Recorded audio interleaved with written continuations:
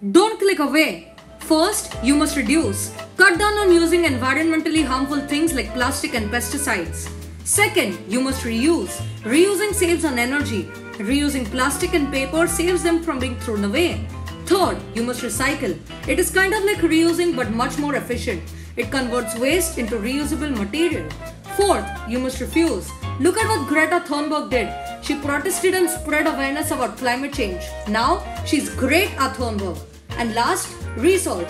By learning more and spreading awareness, you can actually stop misconceptions about nature. Knowledge is needed. Bonus tip hit that red subscribe button now so that you can learn more about saving the environment. Thank you for watching and goodbye. Subscribe.